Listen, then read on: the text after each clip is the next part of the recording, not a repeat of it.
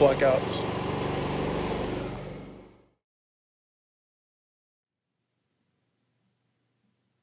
Hey YouTube, Jason here. So Harbor Freight has come out with a really nice inverter generator that can do 240 volts.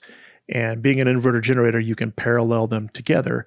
And these these generators are incredibly popular. Um, they are always out of stock, and when they do come into stock, they'll sell out within just a couple of days or less. So if you see one at your local Harbor Freight and you want to get it, you need to go ahead and jump on it quick, or they will go out of stock. But what Harbor Freight hasn't come out with yet is the parallel kit for these things to allow them to be linked together to double your output power. Um, there are a, a, lot of parallel kits on the market, but none of them actually, apart from one that I found, um, are, will handle 240 volts. You know, linking two 240 volt ones together. They're all made for the smaller generators. So what we've got here is I've uh, got this stuff rigged up. We had uh, that snow apocalypse recently in Texas where we had the blackouts and people can't really cool their house with um, natural gas and propane. So in the summer months coming up, there's going to be even more power used, and I'm concerned about rolling blackouts. So got these, and I needed to be able to power my all electric house. So I needed to combine two of these things together. So um, this was me kind of getting everything hooked up, and um, we're actually starting this up for the first time here on video.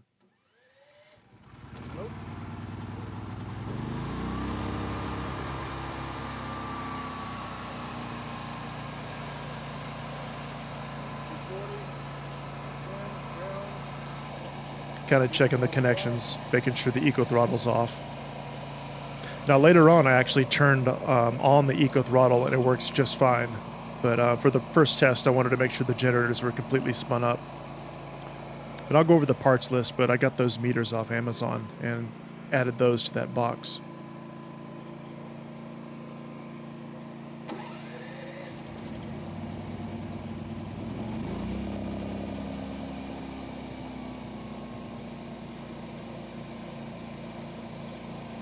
So whichever one you start first is the master, and then the secondary unit that you start will basically slave to the first and match that one's frequency. And it's kind of an automatic process, and they end up working together and really double your doubling your output power. So at this point, going back over to the breaker box and going to turn, uh, go and turn on the master switch. So there went the power to the house. And it, when I was first doing this, I was being really conservative. So I turned off my sub panel that breaks out the outlets and lights and stuff for the interior of the house and turned off the water heater and then um, kicked it on. Then at the time, I realized the water heater wasn't actually heating since it's on a thermostat. It wasn't, you know, needing to be turned on. So um, ultimately, ended up just turning everything on and just rolling with it to see what we would end up with, and it handled it just handled it just fine.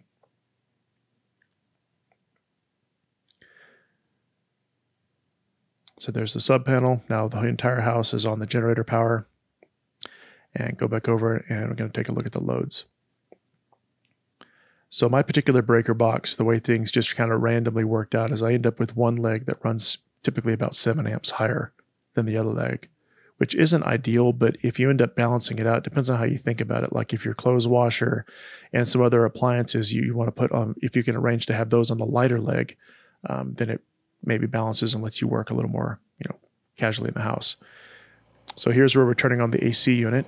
You'll see that first surge there, the 9.3 jumped up. There it spiked to 18.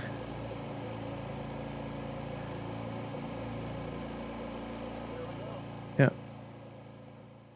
So that was the AC unit kicking in, and then I went around to check the condenser. Now I did cheat. I have a soft start unit on the AC, which allows the compressor to start without needing, you know, 80 or 100 amps. Soft start.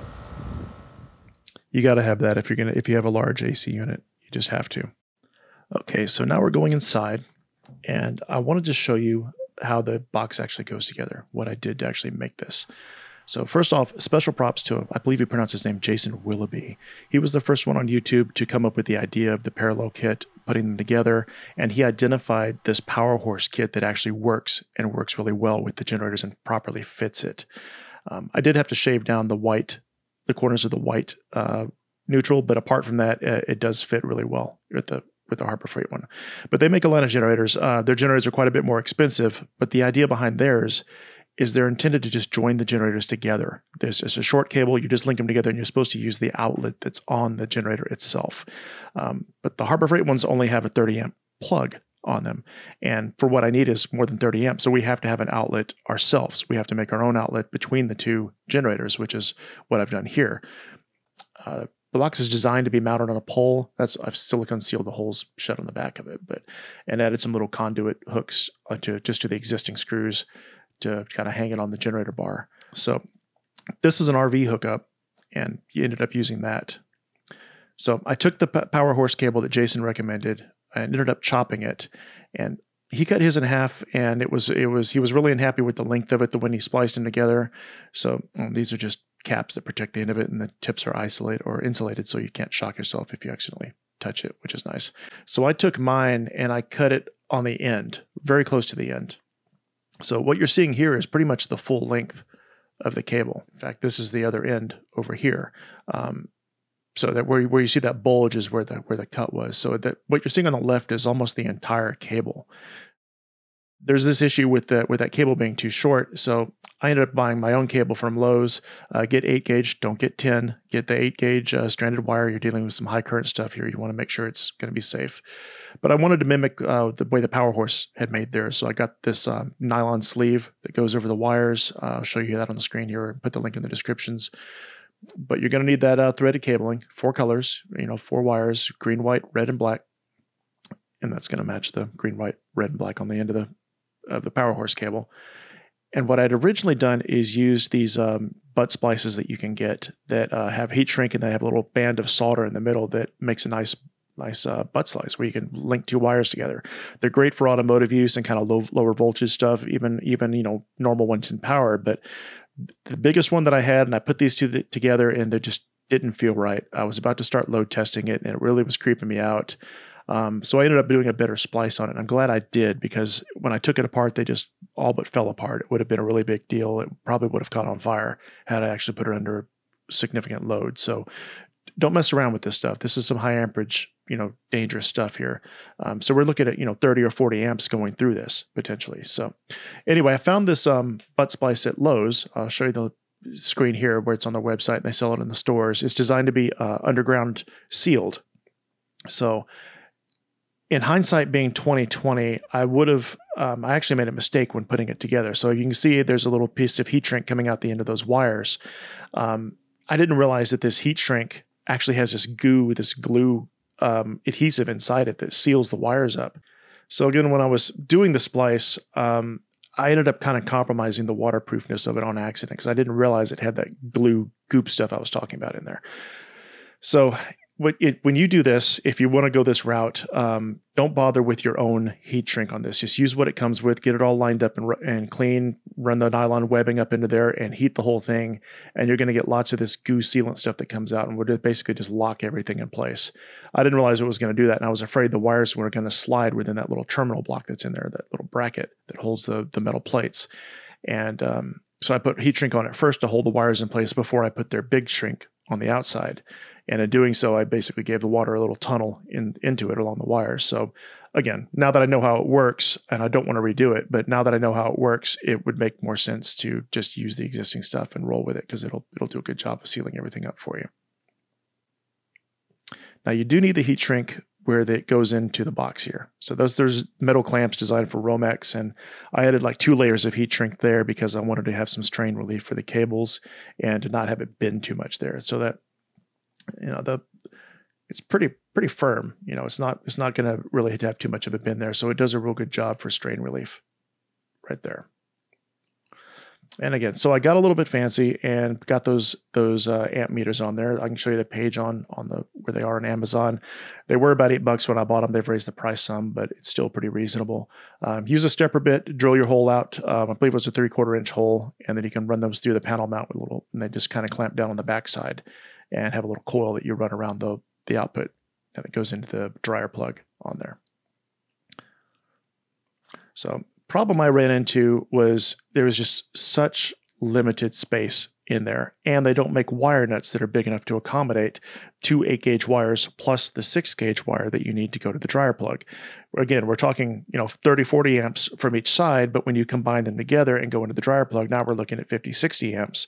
So I wanted to play it safe. Yeah, you could probably could get away with 8 gauge. It's a really short run inside there, but still wanted to play, you wanted to play it safe, so I used six gauge, um, short length of six gauge wire for the connections. But that stuff is stiff, st- super stiff, and super hard to work with in that tight enclosure.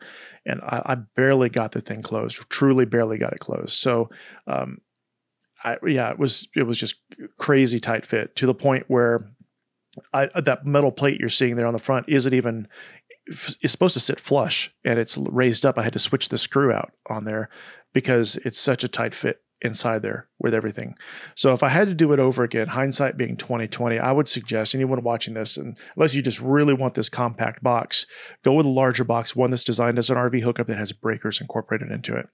Because that's going to give you a bus bar, and you can clamp your wires to the bus bar really cleanly. You can clamp your other wires directly to the uh, breakers. It makes all the hookup really easy. You don't have to deal with these obnoxious, um, expensive, 20 bucks a piece um, terminal blocks that I had to deal with when I was putting this thing together because they again they don't make wire nuts big enough. So I had the only way I could join the wires together with these insulated terminal blocks that are about 20 bucks a piece. And I needed three of the three terminal ones and a four terminal one for the ground because there's an extra ground wire that grounds the box itself to everything. So um, between those terminal blocks, the stiff wires, um, and the and the especially stiff six gauge wire needed to hook up to the actual dryer plug itself. Um, it was it was tight fit. That's why I'm not that's not why I'm not showing you the inside of the box. Is I'm literally afraid I won't get it back together again. So um, it's very tight fit. Now, if, maybe if you spend a little more time on it, give yourself a little more uh, room on the pigtails than I did on mine, uh, you might have a little better luck with it. But um, you know your mileage may vary and just be aware it's going to be a real tight fit to get all this stuff in that box especially with the amp meters on there. Now as far as the uh, little little label things on there those are just labels like you'd put on your mailbox. I just wanted to label the x leg and the y leg so i could keep an eye on the voltage one not so much the voltage because it's going to be standard across the two things but i wanted to know the amperage coming out of that dryer plug. And so when you have two units hooked up you have to just assume that you're getting 50% from each unit because they're going to team together. If you've got one unit hooked up, then you're seeing the full amperage, you know, coming off of it. So if you see 30 amps, you can realize that you're getting 15 from each generator if you're looking at the amp meter on there. So that's uh, that's the general idea here. Let me know if you guys have any questions and um, put them in the comments. I'll be happy to try to answer them.